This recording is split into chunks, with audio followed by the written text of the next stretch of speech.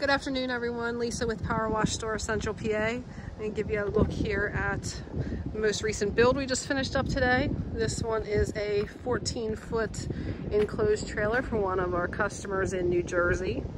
Um, on the back side here we have our pressure washer, which is the 10 gallon a minute Water Dragon uh, gear drive pressure washer with the GX690. You can see down below there it has our Water Dragon base, which is a, solid aluminum frame base.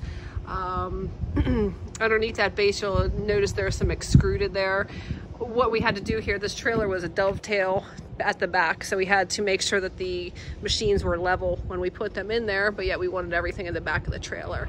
So we put, uh, put those up on those extruded tubing there just to level everything out so that the engine oil and the pump oil um, stays level the center here we have our air compressor, which is paired with the All-Flo air diaphragm pump. Uh, that's a 20 CFM compressor, Rolair with an electric start. Then back here is the half inch All-Flo tank behind the fuel tank, which is an 11 gallon fuel tank for the pressure washer. On the table here we have our proportioner, which is mounted uh, beside we have some flush valves just for, to rinse out the proportioner and then our chemical line as well.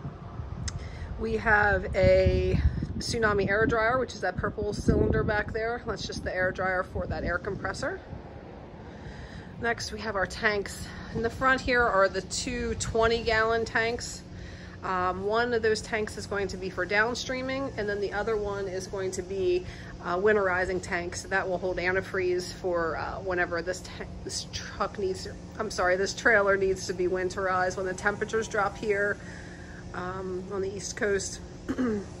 Behind those 20 gallon tanks, we have a 100 gallon tank.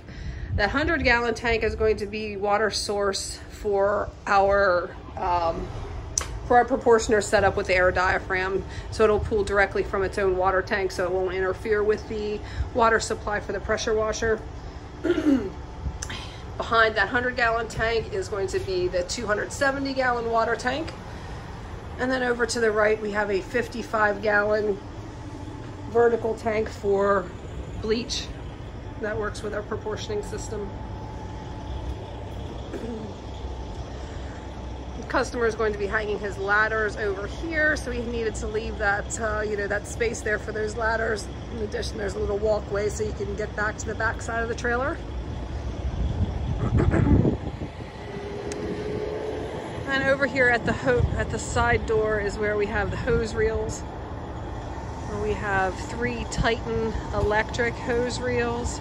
Uh, top hose is going to be your 5 8 chemical hose.